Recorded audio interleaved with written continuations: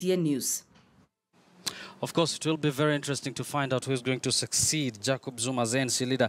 And still in South Africa, the International Criminal Court, that is ICC, is set to give a verdict today regarding South Africa's failure to arrest Sudanese President Omar Hassan al-Bashir, now accused of genocide and war crimes when he visited the country for an African Union summit back in the year 2015.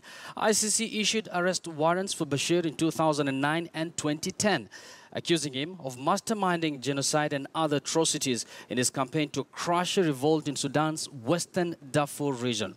Now, in June 2015, Bashir was forced to flee South Africa, a member of the ICC, after court ruled he should be banned from leaving uh, pending the outcome of a hearing on his possible arrest. Now, in March, South Africa's Supreme Court rejected an appeal by the government against a ruling that said the state had made an error in letting Bashir leave the country despite a court order.